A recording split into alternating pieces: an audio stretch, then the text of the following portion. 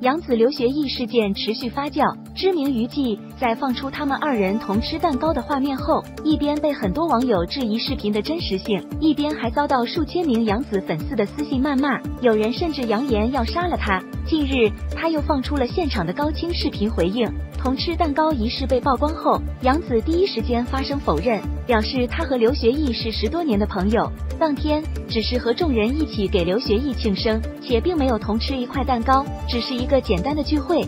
他不想再复杂，希望让这件事到此为止。随后，为了自证清白，杨子还晒出了跟好友的聊天记录截图。紧接着，刘学义也发声明表示，并没有护卫蛋糕的行为。其实，两位当事人都发文辟谣了。事情发展到这里，应该也会像杨子希望的那样到此为止。可他的粉丝却不同意。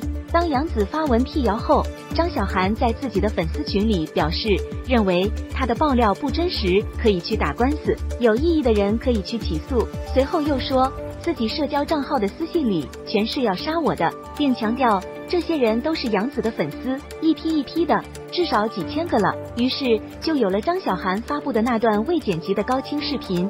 他表示自己看到杨子亲自回应，希望事情到此为止。自己本来也想就此打住，可子米们太热情了，一直祝他节日快乐。